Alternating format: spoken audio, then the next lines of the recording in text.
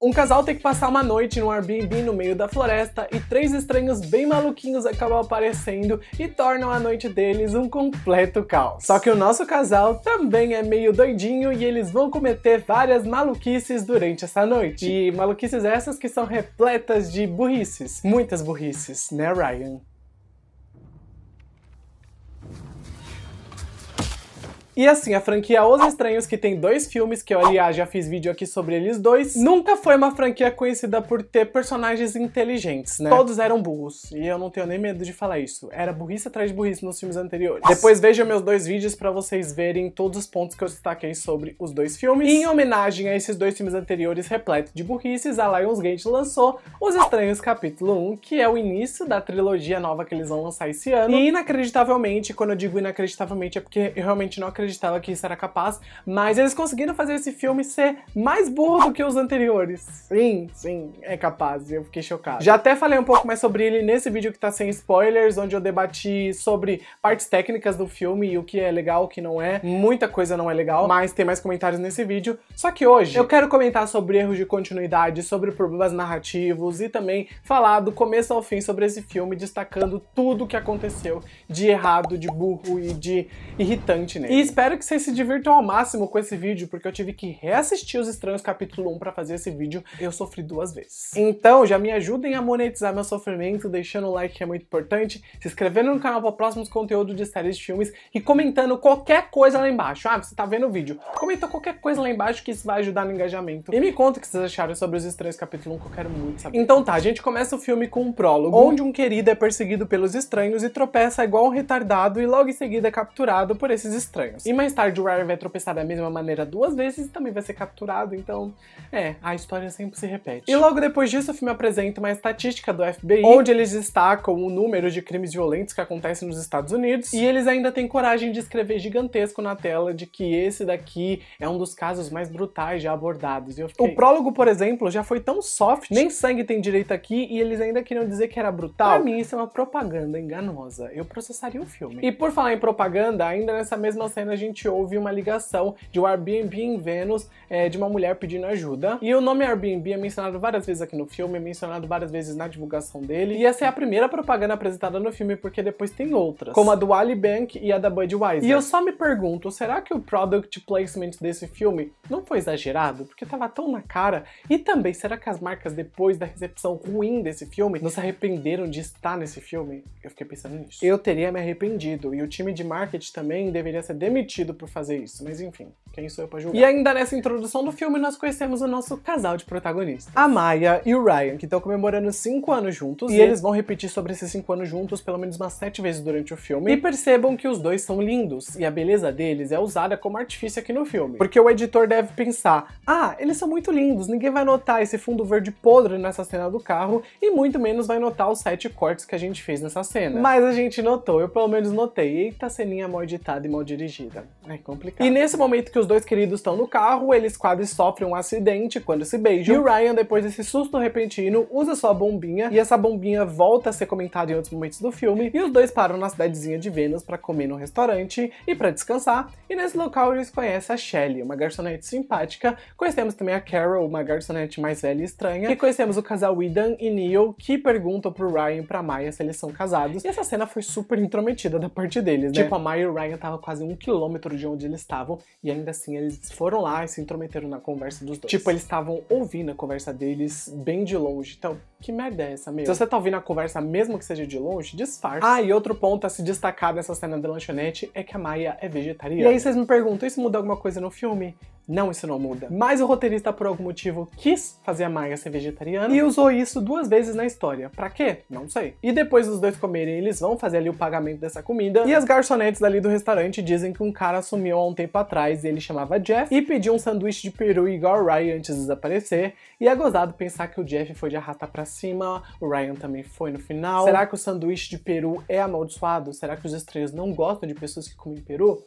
É, fica essa dúvida. Ah, e essa cena em questão também deixa claro que o Jeff sumiu recentemente e no cartaz que ele desapareceu dizia que o ano era 2017. Então a gente pode pensar que a Maya e o Ryan estão nessa época. Porém, eu ainda fico me questionando, o carro do Ryan é um modelo de 2022, parece. E também o celular da Maya, que aparece um pouco depois no filme, é um modelo mais recente, porque tem 300 câmeras atrás. Em 2017 não tinha tanta câmera no celular. A data que esse filme se passa é uma questão que eu ainda não entendi. Daí nós temos a típica cena dos dois testemunhas de Jeová aparecendo e aqui, diferente do primeiro filme que as crianças eram normais e não eram assustadoras, os dois moleques que aparecem nessa cidade são muito esquisitos e bem estranhos. Na verdade, eles mais me assustaram do que me deixaram com vontade de ir na igreja, sabe? O nosso casal, então, acaba tendo um problema no carro, o carro não quer ligar, e o Rudd, que é o mecânico local, aparece para ajudar. E nesse momento eu só fiquei pensando, pera, eles estão nos Estados Unidos. E os carros nos Estados Unidos têm que ter o seguro obrigatório. Então, logo eles deveriam ter acionado o seguro, porque o carro parou de funcionar. Então acionar o seguro é uma coisa que eles deveriam ter feito, porque eles estão pagando. E o carro do Ryan é um top de linha, então o seguro deve ser caro e ele deveria usar o seguro. Porém, ele decidiu que, não, vamos deixar aqui na cidadezinha. E o Rudd ia consertar o carro do Ryan no dia seguinte, então eles teriam que passar a noite na cidade e o próprio Rudd sugeriu eles ficarem num Airbnb que fica ali no meio da floresta de um tal de Joe. E o Ryan até acha isso meio estranho e sente uma vibe muito esquisita nessa cidade, naquela vibe de armadilha para turista, sabe? E é engraçado como o roteiro desse filme faz os personagens citarem diversos nomes de outros personagens para meio que encher a nossa cabeça de ideias de quem pode ser os estranhos. Então, a gente tem uns oito nomes sendo comentados só nessa primeira cena aí do restaurante. E eu acho que isso pode fazer sentido nos próximos filmes da trilogia, mas por enquanto nenhum fez sentido e todos foram inúteis. Mas continuando, esses dois queridos chegam na cabana e se sentem super bem com o local, mas eles também notam que a geladeira tá quebrada e a Mai decide ir pro fundo da casa para ligar pro Joe, consertar a geladeira e eu fiquei pensando, minha filha, pra que você vai pro fundo da casa para fazer uma ligação? Vocês vão passar uma fucking noite na cabana. Pra que você quer arrumar merda da geladeira? Qual a lógica disso? O engradado de bebidas que vocês queriam que ficasse gelada, vocês vão acabar com eles ali em 20 minutos. Pra que vocês querem uma geladeira? Vocês nem vão ficar colocando coisa dentro da geladeira?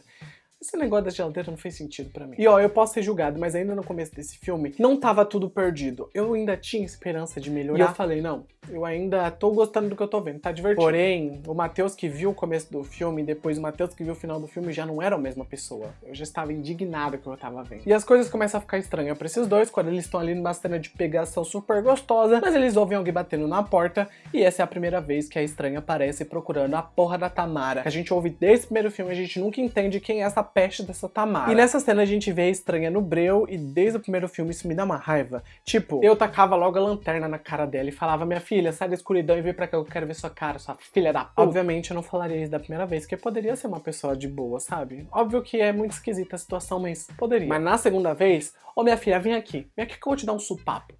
E notem também que a luz da casa estava tão forte do lado de dentro que clarearia ali a metade da varanda, mas o filme optou por continuar com aquela vibe de breu. E a menina também depois fica na redondeza da cabana parada olhando para casa novamente com breu em torno dela. E esse casal de tapado não faz nada, a menina tá ali assustadoramente olhando para casa. E eles acham super normal alguém bater na porta deles no meio da noite, numa cabana no meio do nada. E assim, para eles, ah, só uma adolescente maluquinha. Já era para eles terem ligado para a polícia nesse momento e registrado uma importunação mas não, não fizeram isso. E logo depois dessa cena onde uma estranha apareceu na porta dessa casa, o Ryan super acha assim de boas deixar a Maya ali sozinha para ele ir até a cidade. Porque ele precisa ir na oficina pegar a bombinha dele que tá no carro e também ele precisa passar para comprar comida, porque eu acho que ele nunca ouviu falar do iFood, né?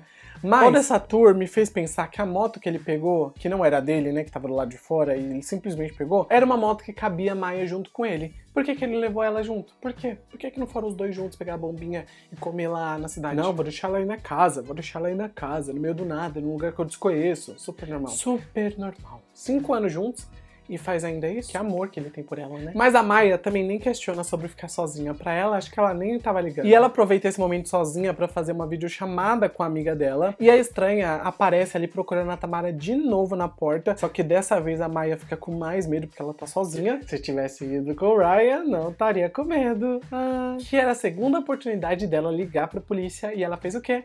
Não ligou. E toda uma cena de tensão começa a ser construída na casa nesse ponto, com o estranho dentro da propriedade passando por trás da Maia, e essa cena dela sozinha na casa podia ter sido muito boa, mas a atmosfera não foi bem construída, o jogo de câmera era básico e também era muito clichê. E a Maia parecia que era mais tapada do que o normal, porque ela acabou de ouvir um barulho, ela acabou de ouvir uma batida na porta e ela faz o quê?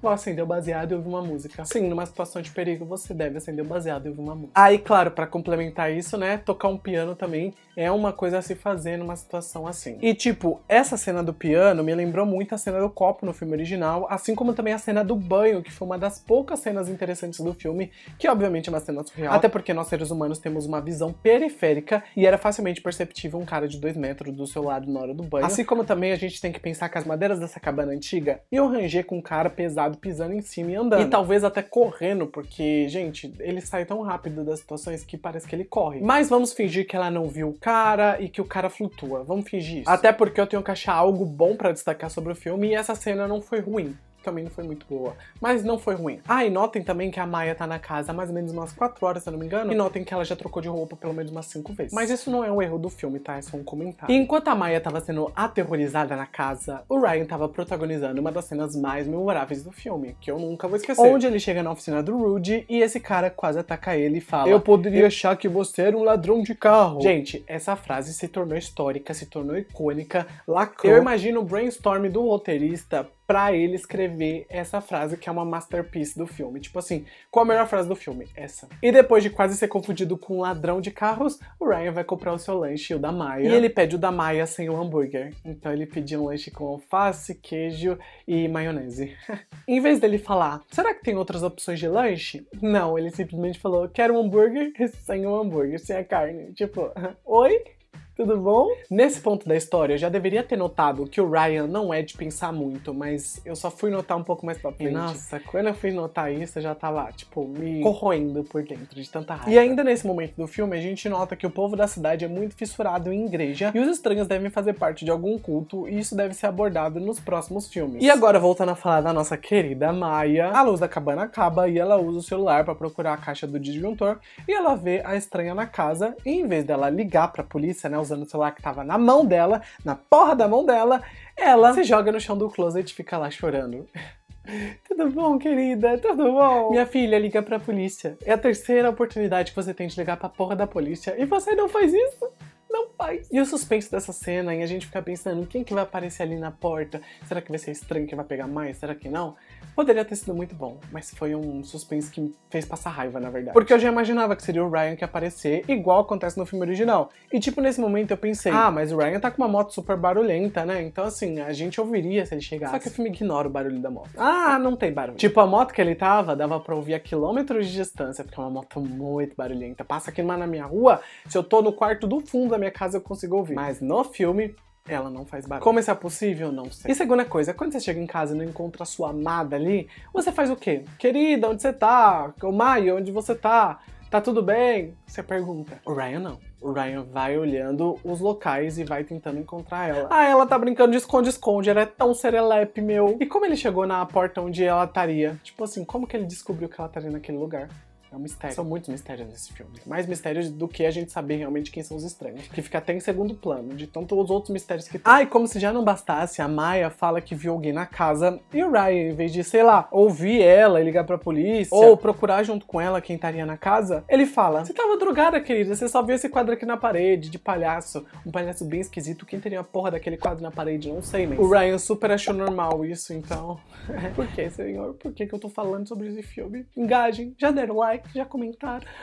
Ai, tá sendo uma tortura falar sobre esse filme, vocês não têm ideia. E eis que então quem volta a atormentar esses dois é a estranha que tá olhando eles de longe. E eles têm outra oportunidade de ligar pra polícia, mas eles não fazem isso. E é a quarta oportunidade perdida de avisar a polícia que tem alguém ali observando eles, mas super de boas. E agora chegamos numa das cenas mais gore do filme. É, esse filme não tem sangue, mas tem uma cena gore, que não é com sangue, mas é quase sangue. Na verdade, tem alguns picos de sangue, enfim. Que é a cena do Ryan comendo um lanche recheado de ketchup, da maneira mais porca possível ele tá comendo esse lanche. E eu acho que essa cena fez ele merecer morrer no final, porque eu nunca vi algo tão nojento. Ele fez sujeira igual uma criança recém-nascida que tá comendo papinha. E o filme ganha um fôlego logo nessa cena, porque eles veem um animal morto no lustre e os estranhos aparecem para atacar o terror E eles dão ali uma machadada na porta, entram na casa e os dois se escondem no quarto. E atrás da porta do quarto tava escrito vários hello com sangue. E eles nem comentaram sobre isso. E sabe por quê? Tem um motivo. Porque aquele hello foi colocado na pós-produção do filme. Vamos pensar que o hello, é essas escritas de sangue no vidro, atrás da porta, enfim, onde quer que seja, é uma coisa muito predominante do original. Mas aqui eles não fizeram isso em momento algum e fizeram atrás dessa porta. Mas eu acho que eles fizeram atrás dessa porta porque eles esqueceram de fazer quando eles estavam produzindo o filme.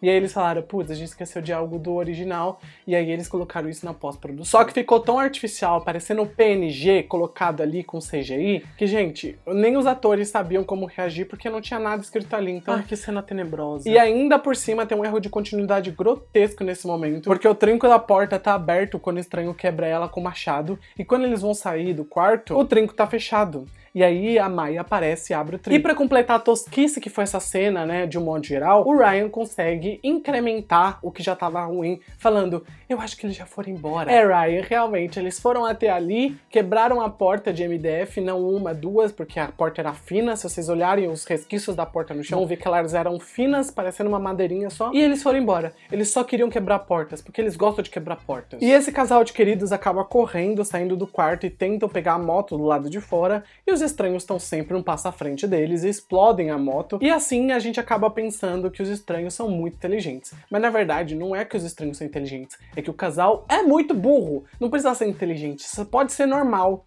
que você consegue é, matar esses dois no final das contas. E esses queridos acabam voltando para casa depois dessa explosão da moto e se escondem dentro do banheiro. E lá eles acabam tendo a ideia de procurar um rifle dentro dessa propriedade, porque o cara ali, o dono do Airbnb, o Joe, é um caçador, então eles imaginam que tem um rifle ali por perto. E eles saem do banheiro pela passagem de ar, rastejam pelo assoalho da casa e um rato aparece nas costas do Ryan. E por incrível que pareça, isso foi menos nojento do que a cena do ketchup.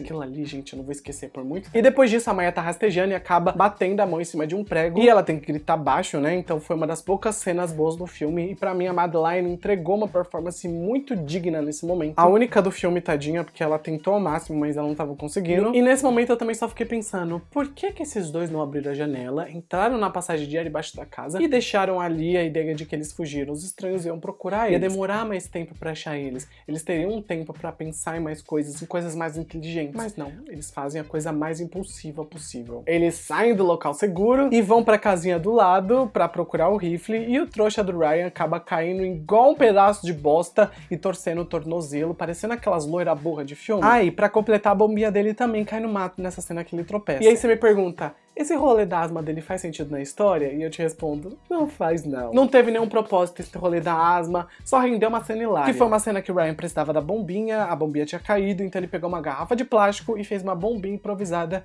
E eu tava jurando que a bombinha tinha algum medicamento dentro, mas o Ryan provou que não, medicamento de dentro não serve para nada e só o ar da garrafa já funciona. E nesse ponto da história, as coisas já estavam indo ladeira abaixo. E o casal tava na casa do lado procurando o rifle que eles queriam, e a Mai acaba sendo surpreendida por um dos estranhos. Logo depois, outra ataca ela ali pulando da janela. E é incrível como os estranhos sempre estão no lugar certo na hora certa. E a Maya começa a gritar o nome do Ryan e eu fico perguntando: por que ficar gritando o nome do Ryan? Só tem vocês dois ali? Ele saberia qual é a sua voz pedindo ajuda? Precisa ficar Ryan, Ryan, Ryan, Ryan, Ryan, Ryan, Ryan. E quando o Ryan aparece para ajudar a Maya nessa cena, ele dá um tiro. E eu fiquei pensando, onde esse tiro acertou? Como os projéteis da espingarda não acertaram a cara da Maya, porque ela tava na linha de frente do tiro? São muitas perguntas. Na verdade, esse filme só acumula pergunta e nunca responde nada. E aí chegamos na cena da arma, que é uma das mais burras de todo o filme. Na verdade, essa cena foi um aglomerado de burrice. Vamos começar que esse casal tá num lugar arborizado que tem animais. E geralmente locais assim tem ferramentas de jardinagem, como pás, enxadas e outras coisas desse tipo, que podem ser usadas como arma. E a Mai acaba passando do lado de um lugar que tem várias coisas que eu acabei de mencionar que poderiam se tornar armas. Até porque os estranhos estavam usando facas e um machado. Mas esses dois tapados, ó, nem pensam nisso. Eles ficam com medo da faca e do machado. Gente, eu fiz cursinho com o Jill Roberts, eu aprendi a me defender. Atacar, no caso, mas é uma defesa no final das contas. E eles têm que ser mais louco do que os próprios assassinos. É assim que funciona. Uma pá na cabeça, uma enxada na cabeça é mais rápido do que uma faca. Eu queria ver a estranha usar a faca depois que ela já tá com um buraco no crânio. Mas não, esse casal não pensa nisso. E continuando falando da cena da espingarda, eles dois vão até a porta da casa e o cara tá usando uma chave para entrar. E E o Ryan vai lá, olha pra cara do cara e basicamente atira. E era o proprietário da casa que tava tentando entrar porque veio arrumar a geladeira que a Maia pediu. Sendo que ela só ia ficar um dia, até agora eu não entendi porque ela pediu pra arrumar essa geladeira. E essa cena em questão abre precedente para tantas perguntas, vocês não têm ideia. Eu vou selecionar algumas, hein? A primeira é que o Joe é o dono do Airbnb, ele tá usando a chave para tentar entrar na casa que é dele. Só que assim, o Ryan ouve as chaves e ele mesmo assim vê a pessoa e dá um tiro. Se o cara tinha chaves, estava sem máscara e tava tentando entrar com as chaves, ele não era o estranho, porque os estranhos não estavam precisando de chave, eles estavam entrando e saindo da casa facilmente. Por que, que alguém que tava invadindo sua casa ia usar chave para entrar? Por quê? E o lugar onde o Joe tava tentando entrar, não é um lugar que os estranhos deram uma machadada e quebraram a porta, aquela porta da frente não tava quebrada. O que você quer aqui, meu filho? E para onde foi o famigerado buraco? Aquele buraco estava grande, para onde ele foi? E também a moto que estava pegando fogo.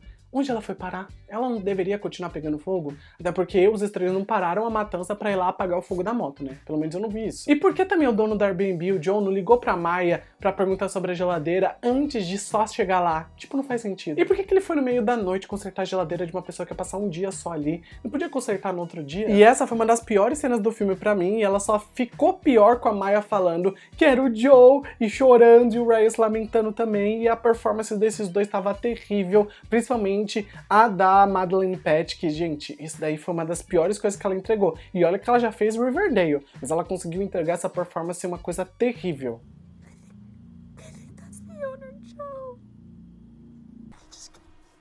Nível Rafa Kalimann, pra vocês terem ideia. E eis que então o Ryan e a Maya decidem entrar no jeep do Joe pra fugir e uma das estranhas ataca um tijolo no vidro e fica a questão, onde ela arranjou um tijolo? Será que tá brotando tijolo em árvore? Como ela conseguiu arremessar um tijolo daquela distância? E como o Ryan simplesmente não meteu o pé no acelerador depois disso? Tudo novamente é um mistério. Até porque receber uma tijolada faz você acelerar, não você simplesmente parar e receber uma carrada do lado do seu carro. É, eu acho que essa palavra não existe, mas acho engraçado. Mas a gente sabe que o Ryan não é como os outros garotos, então ele é muito maluquinho e ele não faz o que os outros garotos fariam. E é incrível também como os estranhos sempre aparecem em sincronia, né? Parece que eles estão dançando uma valsa juntos. Tanto que do nada a caminhonete do estranho aparece, bate do lado do jeep do casal, e como eles não ouviram essa caminhonete antes, isso daí é outro mistério. A porcalhada da caminhonete ali deles faz um barulho gigantesco, porque o motor é um motor antigo, mas por conveniência não fez. Tudo em torno dos estranhos gira na base da conveniência. E isso chega a me irritar. O Ryan então tá com a perna presa no carro depois da batida, manda a Maya sair, e enquanto ele tá tentando soltar a perna, num enredo que foi retirado do segundo filme, basicamente, ele pega a arma, saca a arma e atira contra o estranho que tá na frente do carro.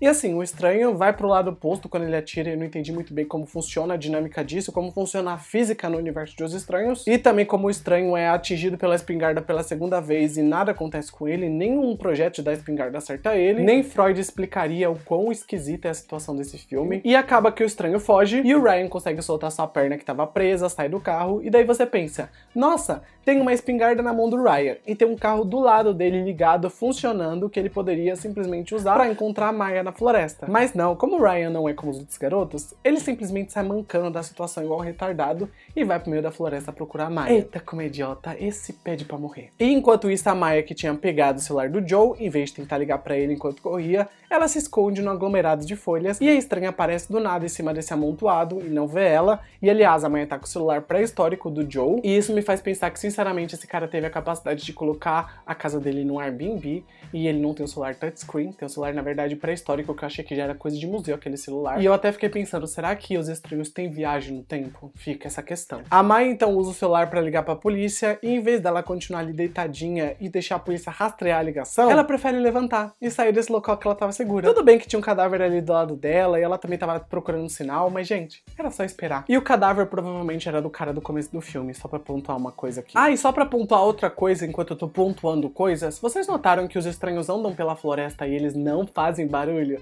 Tipo, a floresta é cheia de folha seca, cheia de galho, eles andam ali e não tem um barulho. Até mesmo grandão. Tipo, as mulheres eu falaria, tudo bem, pode ser que não tenha. Mas o grandão anda e não faz um barulho. Eu ainda acho que os estranhos são entidades sobrenaturais. O que, que vocês acham? Põe nos comentários. E agora, voltando a falar do nosso palhacito Ryan, ele tropeçou de novo na cena da floresta. E assim, é uma coisa normal. Se isso até fosse uma sitcom, teria risadinha de fundo nessa cena. Ryan!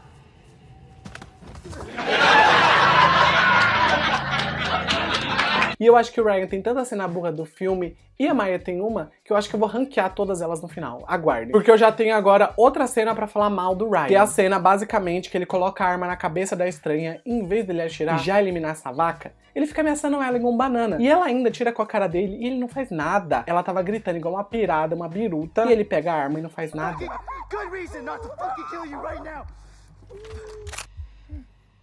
Que raiva dessa porra de cena, gente. Que raiva. E ele ainda tenta dar uma frasezinha de efeito. Você sabe como eles dizem que a sua primeira morte é a mais difícil? Bem, essa é a minha segunda. You know how they say that your first kill is the hardest? You're my second. Isso foi o auge dessa cena patética. Ele queria falar que ele matou o Joe e que agora ele já estava capacitado para matar. Ah, meu filho, vai tomar no. Essa definição. Ai, como eu tenho raiva desse personagem. E essa cena em específico também. Nossa, se eu tivesse nessa situação, eu daria um tiro na perna dessa estranha. Falaria, fala agora onde tá a Maia cachorra. Fala agora. Chutaria a cara dela. Nossa, espancaria ela até não aguentar mais. E assim, olharia ao redor, né? Porque tem outros estranhos. Mas ela já estaria morta no final das contas, porque eu não deixaria sobreviver. Não deixaria. E essa burrice do Ryan misturada com a burrice da Maia fez os dois serem capturados no final do filme e levados de volta pra cabana. Daí a consegue soltar uma frase pro Ryan: Eles nos pegaram. Como se fosse difícil pegar vocês, né, queridos? Com tanta burrice, foi a coisa mais fácil do mundo para eles.